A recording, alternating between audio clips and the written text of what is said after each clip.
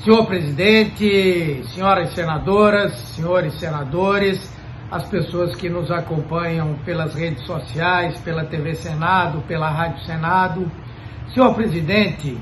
finalmente o governo federal liberou o cadastramento das famílias que têm direito ao chamado auxílio quarentena, que varia de 600 a 1.200 reais por família, para fazerem essa travessia nesse período de isolamento social que é parte do combate à pandemia do coronavírus. Todos se lembram que o PT apresentou uma proposta de auxílio quarentena que era de R$ 1.050 por pessoa de cada família, um salário mínimo por pessoa de cada família. No entanto, não conseguimos aprovar essa proposta, mas é necessário reconhecer que essa proposta, que varia de 600 a 1.200 reais, ela é muito melhor do que a proposta inicial do governo Bolsonaro, que era de apenas 200 reais por cada família.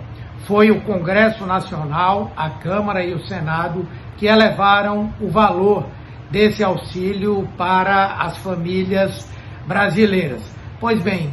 é hora de todas as famílias procurarem se cadastrar, procurarem a Caixa Econômica Federal, o seu site, com todo cuidado para não serem vítimas de golpistas e estelionatários, mas garantirem esse recurso para que seja possível passar por esse período da quarentena é, com uma condição mínima possível de sobrevivência digna. Nós, inclusive,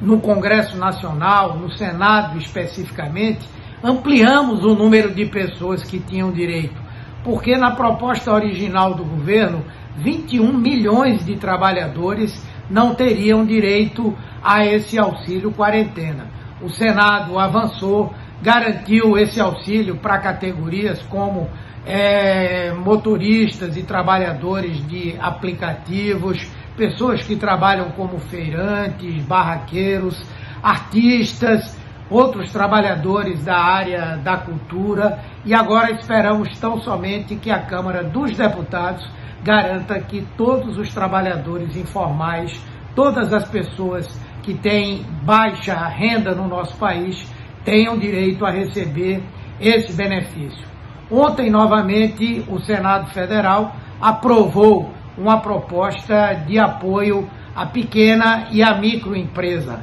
Foram 13,6 bilhões de reais que poderão ser usados pelas pequenas e microempresas para fazer o pagamento de salários dos seus trabalhadores, para ter um pouco de recurso no sentido de poder no dia a dia cumprir com as suas despesas, é o chamado capital de giro que toda empresa necessita ter. Não entrou nessa proposta o microempreendedor individual, mas nós já estamos trabalhando para que isso venha é, acontecer e todos possam estar amparados por algum tipo de renda, algum tipo de apoio. E é importante dizer que o compromisso que foi cobrado das pequenas e microempresas para terem acesso a esse crédito é de que elas não façam nenhum tipo de demissão ao longo desse período da quarentena relativa